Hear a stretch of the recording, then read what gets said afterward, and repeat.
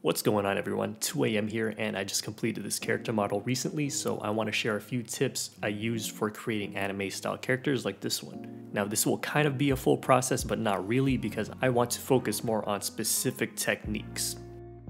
So use whichever ones you think are helpful. So tip number one is when to use sculpt mode versus edit mode. Now, a good Blender user will always be able to use both, but I've noticed a lot of professional users tend to do it like this. So for the torso and the limbs, they use sculpt mode first. Now, obviously, when you use sculpt mode, you're left with all these vertices, which is not good for exporting to VTuber models or game characters. So after they use sculpt mode, they do what's called retopology, where they go into edit mode and using the snapping tools, they create a more simple, lower poly version of the mesh. Now, why do they go through this whole process and not just skip the sculpting step? I'll explain that later. But as for the hands and feet, they tend to use edit mode to manually model the hands and feet, and then use sculpt mode to refine the hands and the feet. So that's the process I copied when I made this model. So starting from scratch, the first thing I did was model the hands and feet. From my point of view, it's easier to manually model the hands and the feet instead of using sculpt mode. And here's a couple reasons why. First of all, there's a lot of tiny details in the hands and the feet, including the fingers, the fingernails, and these parts are actually kind of a pain to sculpt, but in edit mode, it's much easier and simpler. Now after this video, I do plan on making tutorials on how I make my hands and feet using a very simple method, so stay tuned for that if you're interested. But as you can see, another advantage of manually modeling the hands and feet is that you can simply copy the toes and the fingers. Now I tend to do the big toe separate from the other little toes and the thumb separate from the other fingers because the thumb and the big toe do look a lot different than the other ones. Of course, another advantage of manually modeling the hands and feet is that you can make them clean, simple, and functional. And when your mesh is clean like this, it's very easy to go into sculpt mode and then just inflate the parts that need inflating because the topology is very well suited to the shape of the foot. Now one other thing you'll notice when I upload my full process for hands and feet is that it's a very specific and consistent method. And I did it like that on purpose because every time I make a new hand or foot, I don't want to guess or make a new way every time. I just want to follow the steps that I made. And when you repeat processes like this, that's how you get faster and that's how you improve faster. Another advantage of doing this is you will have the same number of vertices in the openings of your hands and feet every time. So modeling these parts like this and having the openings at the wrists and ankles be at a low amount of vertices is a good advantage and it's thinking ahead because they're obviously going to be connected to the arms and the legs and those parts are usually simple and don't have too many vertices. So I usually just like to keep track. My hands have 12 vertices at the openings and my feet have 10.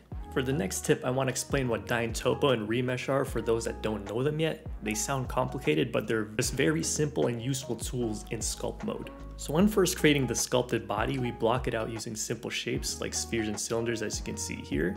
And they're all just joined into one object with Control J, but as you can see, like they're overlapping each other. And there's like vertices inside, but if we go to sculpt mode and go to remesh, you can see that we can join all of these, give us new vertices to work with, and it also deletes all the vertices that are inside. Now we can turn on Dyntopo, set detailing to constant detail and resolution to about 40, turn on the mirroring in our brush, and we'll be good to go to sculpt this into something that actually looks like a body.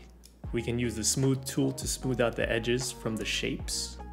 And all Dyntopo means is uh, whenever you sculpt, you're creating new vertices. So without Dyntopo, you're really only moving vertices that you already have. You don't want that because it's not flexible. One good thing about sculpting first is that we can carve out these really uh, fine details like the collarbone, also the rib cage. And when we sculpt out these parts like this, uh, as I'll show you later, it's much easier to create the topology right over it. So this next tip, I'll show you how to take this thing with like a billion vertices and make it very much simpler. To set this up, we have to create a new plane object, find this viewport display option and make sure in front is checked turn on snapping, which is the magnet icon you see there, and make sure to also select face nearest. This is Blender version 3.3 by the way. It might look different if you're using a different version. But as you can see there, we have our plane object, and whatever you do with this plane object, it will snap to the sculpted body that we made.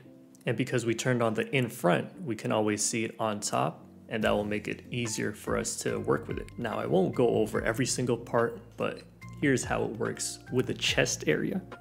We just go around it, extruding new vertices, press E to make new points, and then press MA to merge them at those two points. Now I select all the vertices around it, use E to extrude and S to scale it down, and as you can see, it just follows the shape of the sculpted body we just made. Obviously we have to adjust this because it looks a little messy right now. But hopefully you get the point. Shade smooth and look at that. Now it's a very similar process for the leg. At the bottom of it, I just make sure it's matching with the foot, which is 10 vertices. Extrude it upwards, use Control R to subdivide. And once you move those subdivided points, it follows the shape of the sculpted legs. So as promised, I'll explain more why I like this method of sculpting first, then doing retopology instead of just modeling from the start, because I have done that before. I have purely modeled without sculpting the body, but I think when you sculpt the body first, you can get the curves more accurate to the proper anatomy. And as mentioned, you can easily sculpt the collarbone, the rib cage, even the abs and stuff.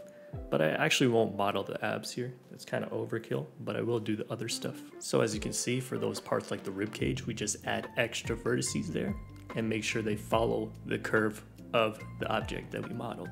And it's not hard because again, it just snaps onto what we already made. And here I'm just following the basic rules of topology, which we just follow the shapes of the body, the contours of the body, and we try to make sure everything is a quad, which is it has four edges. Well, for the most part, there's there's at least two faces here that have more than four uh, edges, but you know, that's for good reason. And here is me connecting the hands and the feet. Again, this is simple because we keep track of our wrist and ankle vertices. So the wrist has 12. We match that with the arm and make it 12 vertices as well. So when we join this object and bridge edge loops, they both have the same number of faces, so it just connects perfectly. And here's more of a general art tip. If you ever get the feeling that something is off or wrong about your work, don't ignore it, always try to adjust it. You always have to be constantly looking for the imperfections in your work and assessing it looking at it objectively, and that's the key to fast improvement. So here the arms are too long, but fortunately that's a quick fix. Now we get onto the face and the head, and my preference for this one is to not sculpt it, but rather just use edit mode from the rip. And this is because of the small details like the eyes and nose and mouth, which have to be very specific. So that's why I prefer using edit mode for the precision. Now I notice a lot of people who create anime models will trace over their reference images, which is they'll import the image of the head as a plane and trace the vertices over it. Now I'm not necessarily against this. You saw my oldest video, I drew my own 2D reference image and then traced over it. So I do use both methods, but my tip for fast improvement is to learn to model without tracing too. I did have a reference image for this character, but I decided not to trace it, but instead put it off to the side and attempt to recreate it with just uh, freehand modeling. So I won't get too detailed on this section, but basically I just create the side edges and the front edges of the face, including the mouth and the nose. And if you notice on the eye sockets and even the mouth, they're angled a little. They're not fully straight onwards, otherwise the face will look very flat. And then after you've uh, made the boundaries of the face, that's when you use your edit mode skills and try to fill in this mask of the face as best as you can. And unfortunately, unlike the hands and the feet, we don't have a true formula for this one. So we can't just do the same thing every time because, you know, faces look different all the time. But hopefully in the future, I'll also have a full detailed video on how I model faces. Also do note that this will be an unlit model, so I don't really have to care about uh, how the normals will be on this face or how the shadows will hit it because there won't be any shadows on it. It would actually look completely different if I had to care about how the shadows are hitting the face. But anyways, filling in the face like that is kind of just like a puzzle. You just have to get in there and figure it out uh, with a lot of trial and error. The face is very skinny right now. There's not a lot of meat on her cheeks, but we'll fix that in Sculpt with a little inflate tool. And before, I would just finish off the rest of the head using uh, modeling as well, but to make it more efficient, I just use the snapping method again. Created a new sphere object, uh, sculpted it to fit the gaps of the head, and then I just used snapping to easily finish off the rest of these vertices. The neck is another connection point you'll have to be wary of, so when I'm making the bottom of the head, I'm making sure it's the same uh, number of vertices as the opening on my body and neck area. Now, truth be told, the number of vertices on this face and head is kind of high. I wish I made it a little simpler than that, but uh, it's no big deal. My next tip is to mark your seams uh, because this makes it very easy to unwrap and texture. You'll find this simply in Edge, Menu, Mark Seam. So all these red lines you can just copy where I put them, which is around the edges of the hand, on the face where it separates from the rest of the head, on the base of the neck, on the base of the ankles, and one going down the middle of the leg. As you can see, the one that cuts the hand in half also extends to the elbow and to the back of the shoulder blade area. And I should mention I also put seams around each of the fingernails. And by doing this, I've cleanly separated each part of the body for texturing, except for the feet. The feet uh, are kind of bad, but that's okay because she's gonna be wearing shoes anyway. If you see the feet, there's like a bunch of vertices bunch up into one, and that's what you're trying to avoid when you um, create these seams. If you look at the other islands, they have a they have very spaced out faces. Now here's a little cheat for unlit models. You don't actually have to create eyeballs, you just have to shade the back of the eye socket to make it look like it's the eyeball, which is what I'm doing here. This won't work for every situation and application, but for the ones it does, you save yourself the process of having to create an eyeball, and that's also gonna make it easier for you when you create expressions and shape keys for your character if you're doing that, because you don't have to worry about moving the eyeball either. Alright, so we're almost all out of tips. Before I give you the last one, let me just ask what you think of this video idea. Originally, it was supposed to just be a full time lapse without commentary, but instead I decided to make it parts of a time lapse so that I can highlight specific techniques and tricks used in the process. So do you think you would learn better from videos like this or, or a full time lapse with no commentary? If people like this video style, then I might make a series where uh, it's gonna be the usual character creation process, but each time I'll highlight different techniques that I use or try. As always, feel free to leave your feedback or questions in the comments below.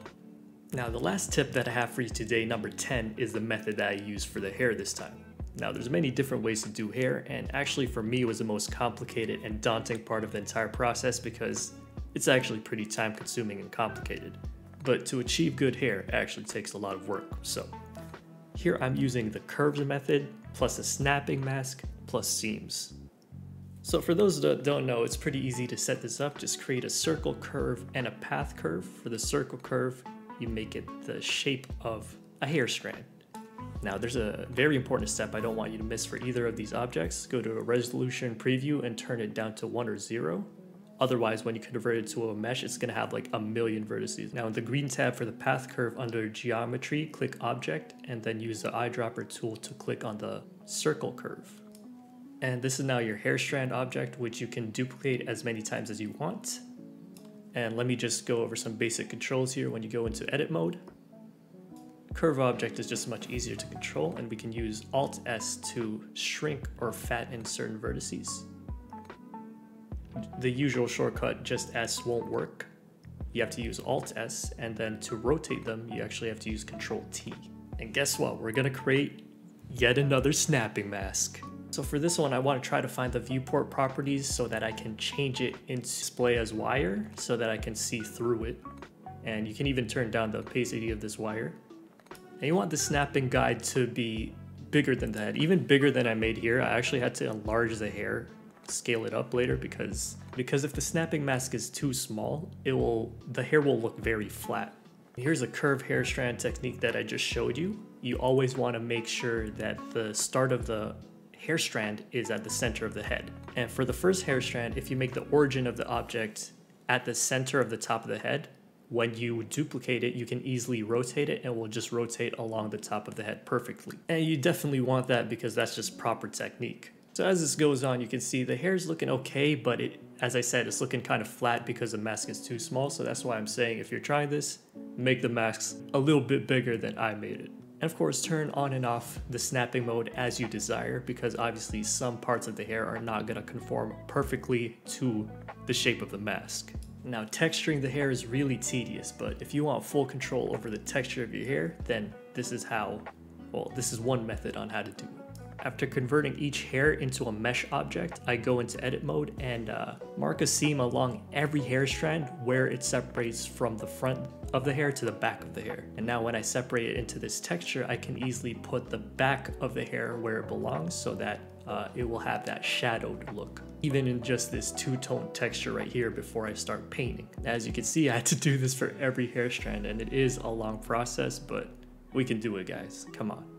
After all is said and done, we can now move on to an easier part, which is just painting.